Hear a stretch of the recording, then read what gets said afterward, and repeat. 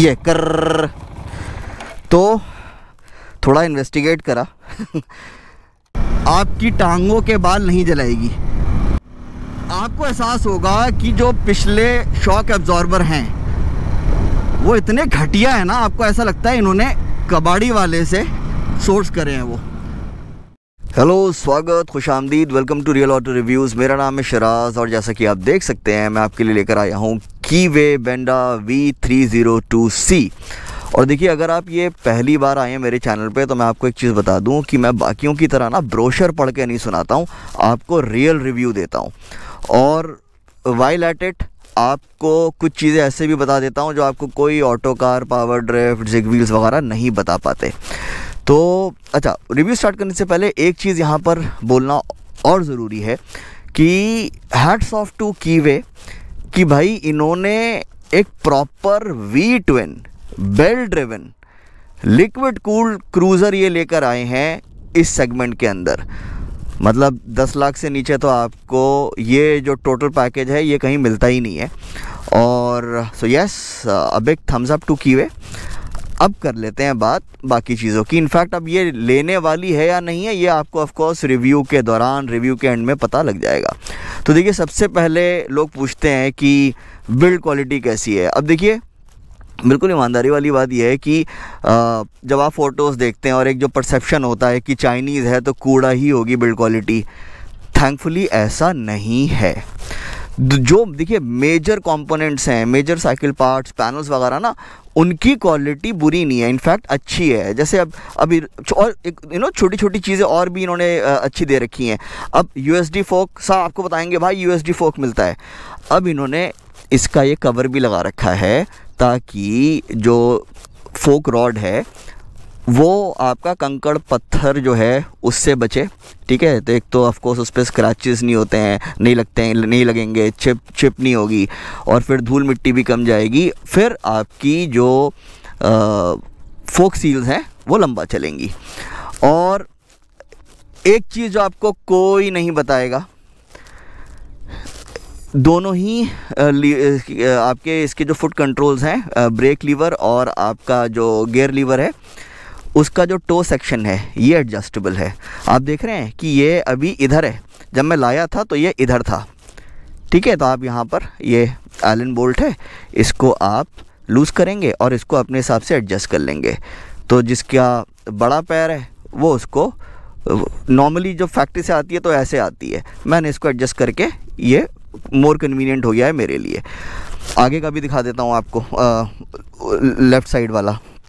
इसमें एक चीज़ और करी है मैंने।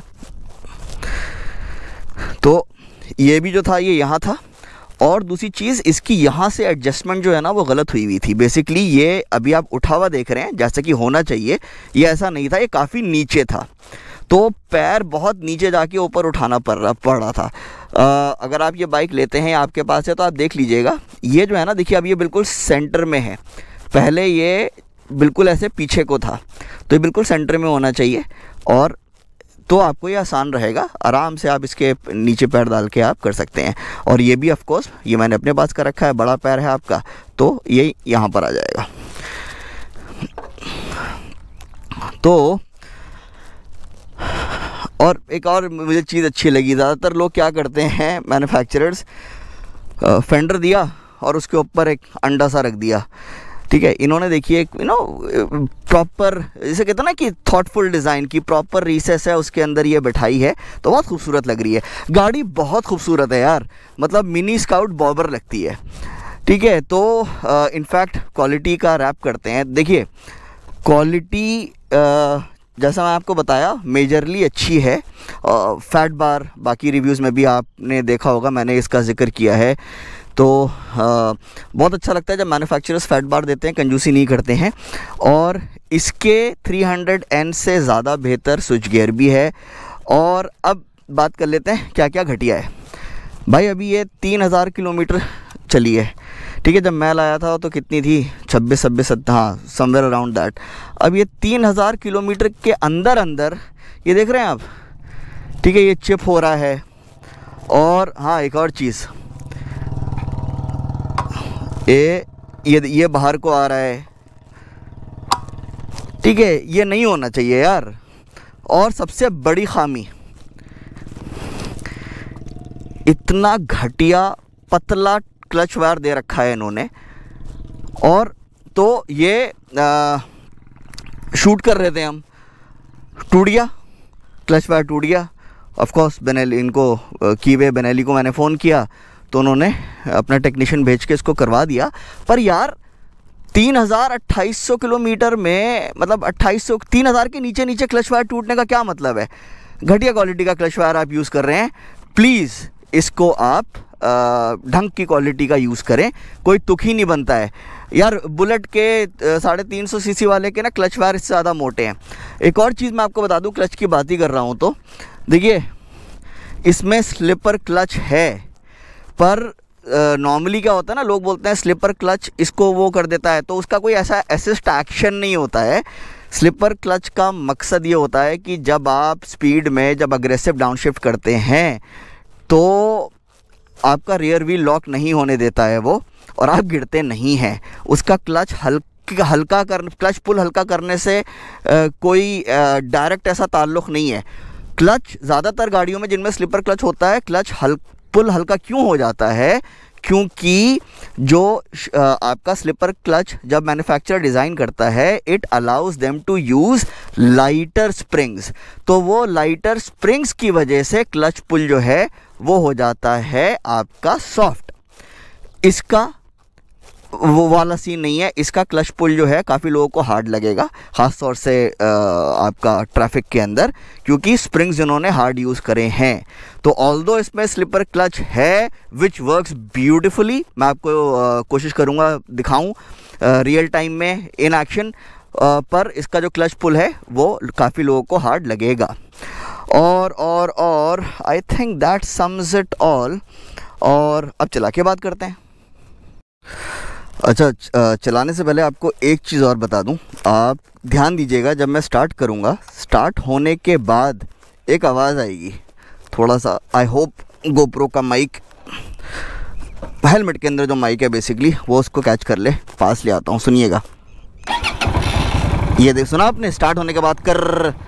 एक बार और सुनिए। ये कर। तो थोड़ा इन्वेस्टिगेट करा।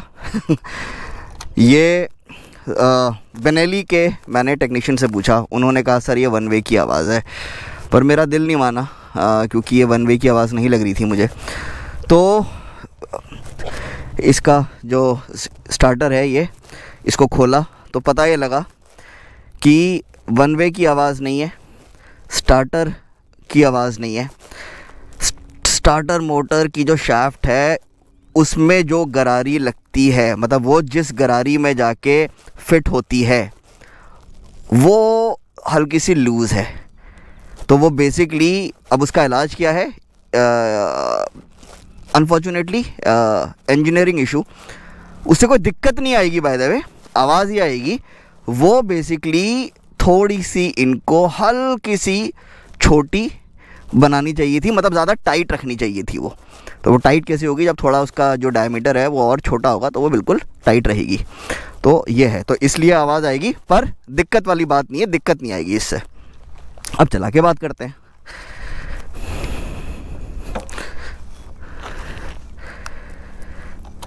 देखिए, मैं इसको ना बहुत मुख्तसर रखूँगा।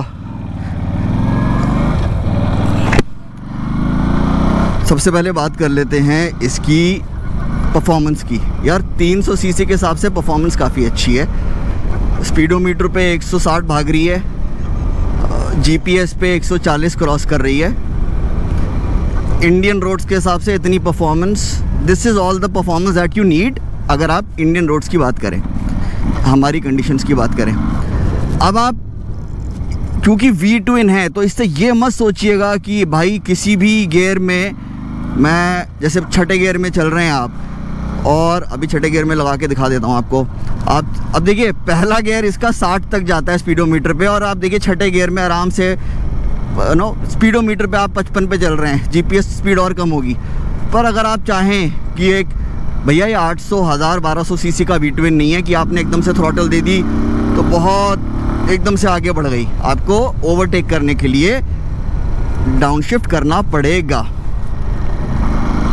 अब पर वो कोई दिक्कत वाली बात नहीं है ना यार। जिसको डाउन शिफ्टिंग से प्रॉब्लम है, भाई तू स्कूटी ले ले। तो अच्छा आवाज़ अच्छी है, थोड़ी सी और अगर ये बेसी कर देते तो मज़ा आया था।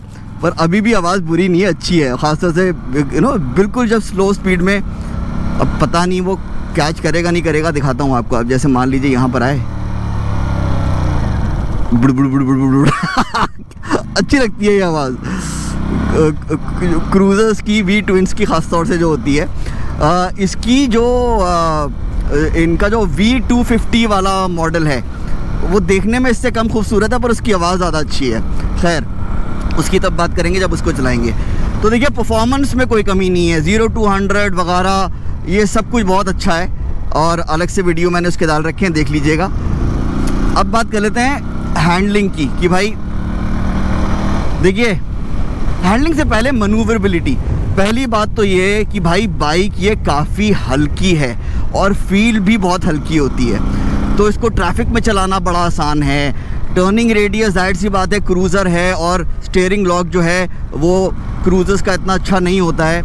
इसका भी नहीं है, पर उसकी वजह से आपको दिक्कत नहीं आती है। क्यों? क्योंकि एक तो बाइक हल्की है, फिर इसका मास सेंट्रलाइजेशन इन्होंने बहुत अच्छा कर रखा है। कीवे की अभी तक मैंने ये दूसरी बाइक चला रहा हूँ। 300N का मास सेंट्रलाइजेशन और सेंटर ऑफ़ ग्रेविटी का तो भाई मैं दीवाना ही हो गया। वेरी गुड जॉब और नहीं यार यहाँ चलते हैं। तो भीड़ भाड़ में चलाना आसान है कोई दिक्कत वाली बात नहीं है। और आप सोचेंगे यार वी ट्विन है तो हीट बहुत करती होगी। मैं जब इसका स्पीड रन कर रहा था तो 150 160 पे ना काफ़ी देर तक रखने के बाद आ, इसका कूलेंट टेम्परेचर लाइट आ गई। पर मज़े की बात यह है कि वो मेरे पैरों में फील नहीं हो रही थी। तो इसका ये मतलब है, कितनी भी हीट ओवर हीट हो जाए, आपकी टांगों के बाल नहीं जलाएगी। आपकी टांगों पे बाल नहीं है तो आपकी स्किन नहीं जलाएगी, जो भी है। आपकी यू नो आपको पता है अपनी टांगों के बारे में। Basically heat is not an issue period अब बात कर लेते हैं किसकी? हैंडलिंग की। यार देखो हैंडलिंग इसकी शुरू में आपको लगेगा मज़ेदार है, पर जब आप थोड़ा सा पुश करेंगे ना, जो कि एक्चुअली आप क्रूज़र को नहीं करते हैं, पर मेरा काम है थोड़ा टेस्ट करना तो थोड़ा सा ज़्यादा पुश करना होता है। आपको एहसास होगा कि जो पिछले शॉक एब्जॉर्बर हैं, वो इतने घटिया है ना, आपको ऐसा लगता है इन्होंने कबाड़ी वाले से सोर्स करे हैं वो। भाई, उसका रिबाउंड इतना घटिया है, इतना घटिया है कि बिल्कुल प्लेन सड़क भी होगी ना, आप उस पर थोड़ा एंथुजियास्टिक कॉर्नरिंग करेंगे, ठीक है? ऐसे पीछे से जंप मारती है। अगला बहुत अच्छा है। अगला बहुत सॉर्टेड है इसका। तो कीवे से मेरी दरख्वास्त है कि भैया, अच्छे खासे पैसे आप ले रहे हैं इसके। पिछले शॉक एब्जॉर्बर थोड़े से क्वालिटी वाले लगा लो इसके अंदर। बिल्कुल ईमानदारी वाली बात दस साल से ज़्यादा हो गए मेरे को रिव्यू करते हुए, पच्चीस, छब्बीस साल से ज़्यादा हो गए हैं बाइक चलाते हुए। एक नई मोटरसाइकिल में इससे घटिया रियर शॉक एब्जॉर्बर अभी तक मैंने नहीं देखे हैं। और फ्यूल एफिशिएंसी अच्छा फ्यूल एफिशिएंसी पहले एक चीज़ ये भी कंक्लूड करता हूँ हैंडलिंग का पार्ट तो हैंडलिंग बुरी नहीं है। पर अगर ये रियर शॉक एब्जॉर्बर अच्छे दे देते तो मज़ा ही आ जाता। मतलब पहाड़ों में ना, मैं इंडियन स्काउट लेके गया था तो उसको मतलब उसके आप फुट रेस्ट शील देते हैं। इनफैक्ट जो बड़ी बाइक है उनकी चीफ विंटेज और ख़ासतौर से चीफ्टन चीफ्टन की हैंडलिंग बहुत अच्छी है। उसमें, उसके तो आप रनिंग बोर्ड्स जो है ना, उनमें से चिंगारियाँ निकाल देते हैं। इतनी प्यारी हैंडलिंग है। इसकी भी सिर्फ़ और सिर्फ़ पिछले शॉक एब्जॉर्बर्स की वजह से मात खा रही है पर नॉर्मल आपका यूजेज में आपको डिसअपॉइंट नहीं करेगी। पर वही वाली बात है यार चैसी बहुत अच्छा है आ, आपका जो इसका स्टेयरिंग जोमेट्री है वो बुरी नहीं है क्रूज़र के हिसाब से बहुत सेट है। और तो बहुत मज़ा आ सकता था इसलिए बुरा लग रहा है कि यार इन्होंने यहाँ पर कंजूसी कर दी। अरे हाँ स्लीपर क्लच आपको दिखाऊँ? दिखाता हूँ। तो जैसे मान लीजिए हाँ अब देखिए। स्लीपर क्लच का क्या है? आप भगाते हुए ले गए और आप क्या करेंगे? अगर आपको तजुर्बा है स्लीपर क्लच वाली गाड़ी नहीं है तो आप रेप मैचिंग करेंगे जब आप डाउन शिफ्ट करेंगे। अब देखिए, अब ये आए, आपने आपको आगे मुड़ना है, आपने ये आप और किसी गाड़ी में नहीं कर सकते, ये देखिए। ये लॉक नहीं होने देता है रियर व्हील तो आप ये कर सकते हैं। स्लिपर जिसमें स्लिपर क्लच नहीं होता, उसमें आपको रफ मैचिंग करनी होती है। फ्यूल एफिशिएंसी फ्यूल एफिशिएंसी साहब, आप अपनी स्क्रीन पे देख रहे हैं। राइट क्वालिटी राइट क्वालिटी आप समझ ही गए होंगे। कि देखिए बिल्कुल प्लेन रोड्स पे तो कोई दिक्कत ही नहीं है। अगला जो फोर्क है, अगला ही फोर्क होता है, पीछे नहीं होता फोर्क तो फोर्क जो है, यानी कि अगला सस्पेंशन बहुत अच्छा है, बहुत प्यारा है, वाकई में बहुत प्यारा है। और पिछला, जैसे कि मैंने बताया, उतना ही बुरा है। तो बेहतरीन रोड्स पे कोई दिक्कत नहीं है। जैसी ख़राब रोड आती है तो पीछे जो है ना, वो मामला ख़राब कर देता है। तो आपको बहुत ज़्यादा स्लो निकालनी होती है। और क्या बचा? तो I think that you know sums it all और आप बताइएगा आपको कैसा लगा? हाँ वर्डिक्ट अरे भाई वर्डिक्ट तो बता दूँ। देखिए यार, ये इसमें जो रेड कलर है ना, वो on road if I am not wrong Delhi में चार पिछहत्तर का है। यार, चार पिछहत्तर तो डेफिनेटली जो है ये गाड़ी जस्टिफाई नहीं करती है, ठीक है? और हाँ एक चीज़ आपको और बताऊँ। ख़ास तौर से, अभी जो इसकी कमियाँ हैं, ठीक है? खड़ी गाड़ी में मतलब यू नो आप आए स्टॉप पे रेड लाइट पर आए, और आपको न्यूट्रल जो है, ठीक है? न्यूट्रल गाड़ी करनी है। भाई न्यूट्रल आपको मिलेगा ही नहीं। मतलब इसका जो न्यूट्रल है ना finding neutral on this motorcycle is bloody harder than finding an honest politician. Seriously. And i'm not exaggerating one bit. Start में आपको तो आपको का क्या होता है? गाड़ी बंद करी आपने फिर न्यूट्रल कर दिया। तो ये जो सारी चीज़ें हैं ना और प्लस सारा एडजस्ट करके देख लिया। अब आप सोचो ना यार जब स्टार्टर खोल के यू नो देख दिया तो फिर आ, जो माइनर क्लच एडजस्टमेंट्स होते हैं माइनर क्या इधर से भी कर दिया उधर से भी कर दिया और वो न्यूट्रल जो है बहुत थोड़ा बहुत फ़र्क पड़ा, पर अभी भी खड़ी गाड़ी में परेशानी है। तो ये सारी, अब देखिए तो ये सारी जो चीज़ें हैं, ये कीवे जो है इसको ठीक कर दे। क्वालिटी बिल्कुल इम्पेकेबल कर दे। अगर आप पौने पाँच लाख रुपए की गाड़ी बेचना चाहते हैं, आपको you cannot have loose ends आपको सारी चीज़ों में ध्यान देना होगा। ये नहीं चलेंगे सस्ते वाले मिरर ठीक है, आपको क्वालिटी देनी होगी। आप क्वालिटी दीजिए। और फिर आप बोलिए कि हाँ यार मतलब कि भाई हम पौने पाँच लाख रुपए की गाड़ी बेच रहे हैं, क्योंकि ऐसी गाड़ी तो आपको दस लाख के अंदर अंदर मिलेगी ही नहीं, ये फॉर्मेट नहीं मिलेगा basically V twin belt drive और आपका लिक्विड कूलिंग का जो तीनों का जो मिक्सचर है लिक्विड कूलिंग भी छोड़िए वी ट्विन बेल्ट ड्राइव आपको मिलेगी ही नहीं स्मॉल कैपेसिटी के अंदर क्रूज़र अब तो देखिए, फ़िलहाल ये अगर आपका दिल है इस पर आपको कूल लगना है, गाड़ी बहुत खूबसूरत है तो आप ले लिए। पर अगर आप मुझसे पूछें, बिल्कुल ऑनेस्ट वर्डिक्ट ये है, चार पिछहत्तर फ़िलहाल ये कहीं से कहीं डिज़र्व नहीं करती है।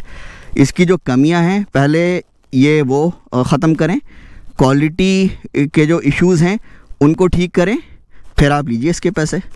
तो ये था मेरा रिव्यू आप बताइएगा आपको कैसा लगा, और अब देखिए इसके बाद पता नहीं मुझे बनेली बाइक देगा या नहीं देगा। देगा तो अच्छी बात है, नहीं देगा तो कोई बड़ी बुरी बात नहीं है। पर जहाँ तक मैंने नोटिस करा, जितनी मेरी बातचीत रही है इनसे, ये जो फीडबैक है, जो क्रिटिकल फीडबैक है, उसको पॉजिटिवली लेते हैं। लेना ही पड़ेगा ना यार, ठीक है? आपको लेना होगा, अगर आपको गाड़ियाँ बेचनी हैं इंडिया में। कहीं पर भी इनफैक्ट आपको क्रिटिकल फीडबैक ढंग से लेना होगा। पर कुछ मैन्युफैक्चरर हैं, जो यू नो यूट्यूबर्स को और जर्नलिस्ट को बोलते हैं आर्टिकल डिलीट कर दो यू अपना वीडियो डिलीट कर दो।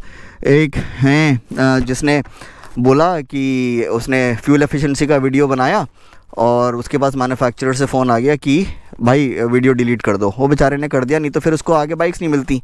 आ, मेरे पास आज तक कभी ऐसा फ़ोन नहीं आया और आएगा भाई तो मैं तो वीडियो डिलीट करूँगा नहीं। और वीडियो डिलीट तो नहीं करूँगा उल्टा एक वीडियो बना भी दूँगा उसके ऊपर विथ नेम्स खैर अगेन अभी तक जो मेरी इनसे बातचीत रही है ये क्रिटिकल फीडबैक को क्रिटिकल असेसमेंट को बहुत अच्छी पॉजिटिवली लेते हैं और उम्मीद करता हूँ अभी भी लेंगे। और ये था मेरा रिव्यू आप बताइएगा आपको कैसा लगा? बहुत जल्द मुलाकात होती है। नए वीडियो के साथ सब्सक्राइब कर लीजिएगा लाइक कर दीजिएगा कॉमेंट कर दीजिएगा। बहुत बहुत शुक्रिया देखने के लिए। बाय